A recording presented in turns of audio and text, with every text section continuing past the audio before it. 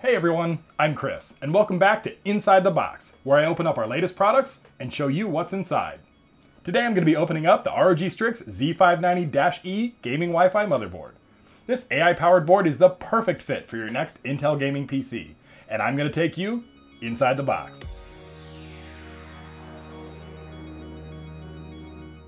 The Strix Z590E gaming Wi-Fi is what we like to call an AI motherboard. This is because it utilizes AI to assist with overclocking, cooling, and networking to ensure the best possible system performance.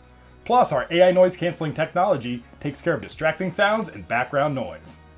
Whether you're looking to build a 10th gen Intel PC now, or are planning an 11th gen Intel build later in the year, the Strix Z590-E gaming Wi-Fi is going to be a solid choice. Now let's open it up and see what's inside. The motherboard is the most obvious thing we expect to find in here, but let's move that out of the way for the moment. Alright, first off, we've got a box here that's got a few very important goodies that we'll want to take a look at. First, this, we open it up, this is the GPU holder, which keeps even the heaviest cards standing straight inside your case. This is the 2x2 dual band Wi-Fi antenna. Now it features a magnetic base so it can attach securely to your case, and can be positioned at four different angles to get the best signal. All right, now we're gonna go ahead and pull out the motherboard itself. Remove it from its anti-static bag. And underneath here, we've got some drivers, as well as a thank you card, a great set of stickers, user guide, and underneath a few more goodies.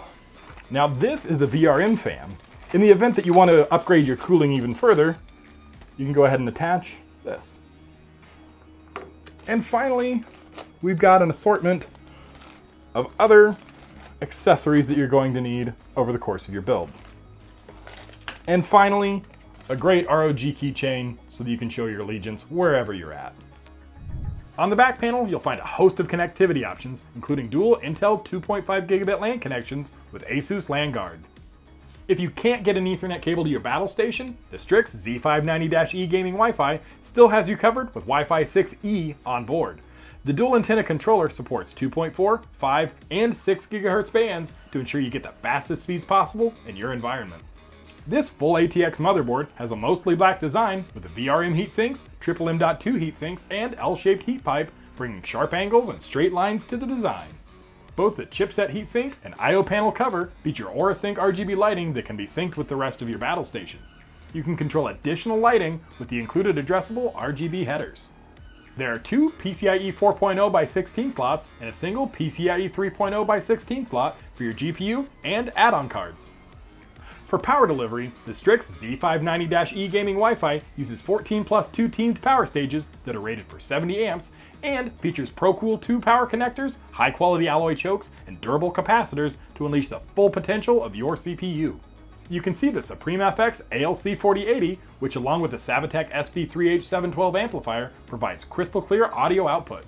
This is a very PC DIY friendly board, with headache saving features like the pre-mounted I.O. shield, clear CMOS button, and Q-code display that make installing and troubleshooting your PC a breeze. The board supports a total of four M.2 drives, including two PCIe 4.0x4 slots for ultra-fast NVMe drives. And you won't need to hunt for screws when installing a drive, as our handy M.2 Q latch has you covered.